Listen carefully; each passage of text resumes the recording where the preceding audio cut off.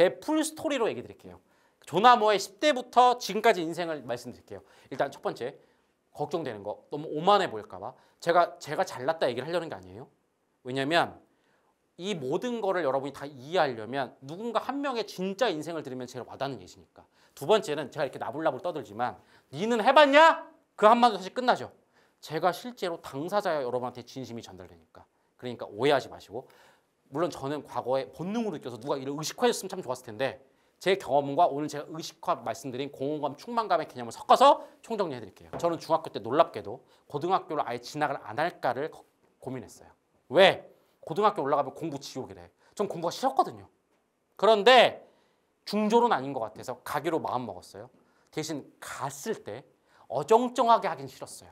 저는 한 번뿐인 인생, 유한한 인생에 대한 감각이 예민한 축에 속했나 봐요. 오늘 예민한 사람과 둔감한 사람 있다고 했죠?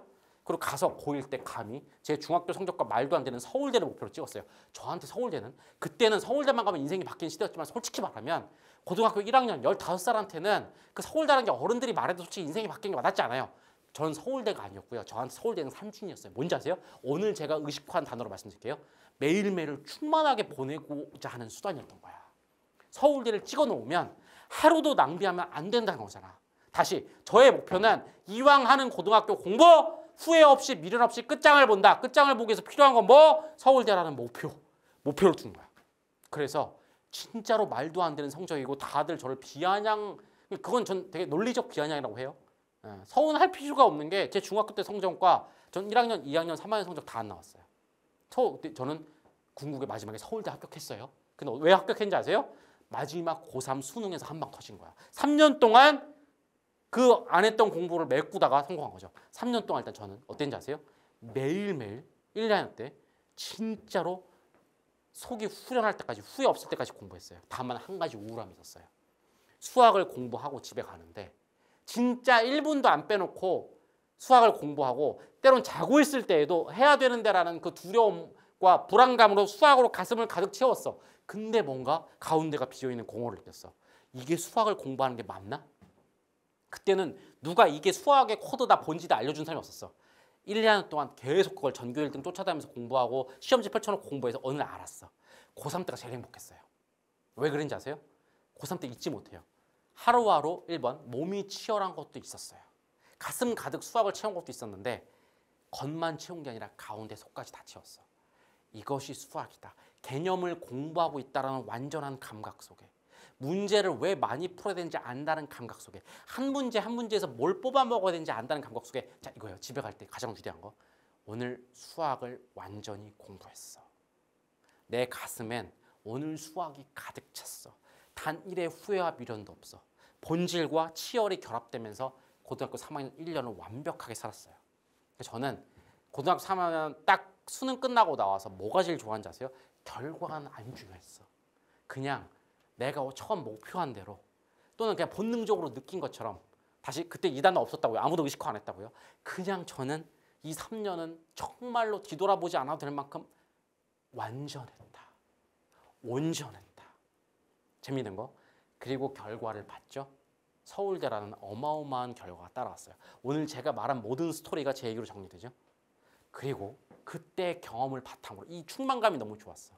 20대부터 모든 경험을 군대 훈련도 일찍 취직한 네이버라는 회사에서도 그때 그때 결과를 바란 게 아니에요. 전 네이버 가서 연봉 협상할 때 한 번도 들어가서 저 얼마 주세요라고 말한 적 없어요. 진짜예요.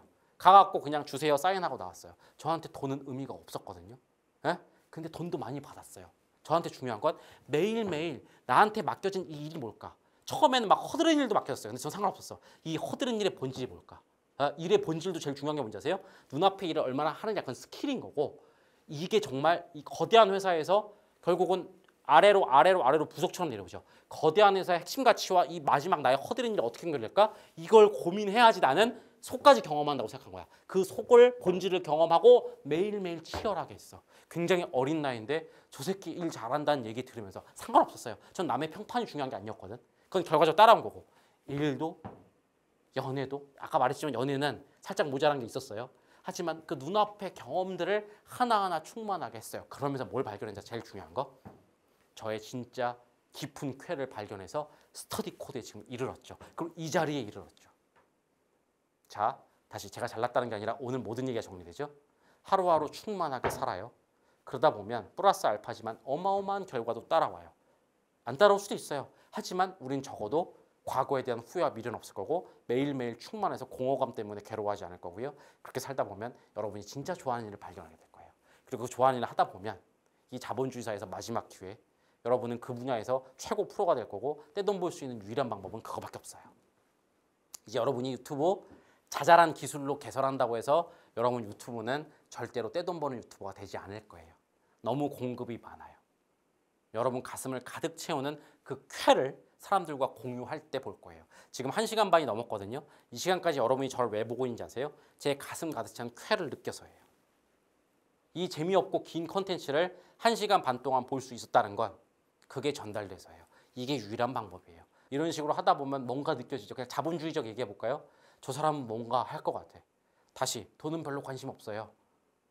하지만 이렇게 하면 따라올 것 같은 여러분이 느낌을 한번 공유하고자 말하는 것 뿐이에요. 근데 제가 벌면 어떨 것 같으세요? 예? 아, 저 사람 저렇게 말하는 거 보니까 아, 일반 사람 연봉 높은 1억 2천 정도 벌 것 같아. 그런 느낌이 안 들죠. 아예 못 벌거나 왠지 저 사람은 진짜로 잠실 체육관에 사람 가득가득 채워서 100억, 몇천억, 1조 벌 것 같은 생각 들지 않으세요? 제 목표는 100조 정도 돼요. 다시 저는 돈에 욕심 있는 게 아니고요. 서울대와 같은 그냥 그런 목표일 뿐인 겁니다. 그 100조와 서울대가 상징하는 건 충만하게 하루하루 살겠다라는 저의 그냥 비유법인 거예요. 알겠죠? 여하튼 이게 제 인생이고 이게 가장 생생한 예시고 이게 여러분께 드리고 싶은 로드맵이다. 아 이렇게 말하니까 좀 그렇긴 하네. 다시 생생한 예시를 위해서 비유를 준 건데 저같이 살아라 이건 아니에요. 무슨 말인지 알겠죠? 저도 아직 부족한 거 많고요. 아직 본질 모르는 게 있어도 아직도 저도 낭비하는 거 많고요. 저도 공허할 때 아직 많아요. 음, 다만 비유와 예시라는 걸 여러분께 말씀드리도록 하겠습니다.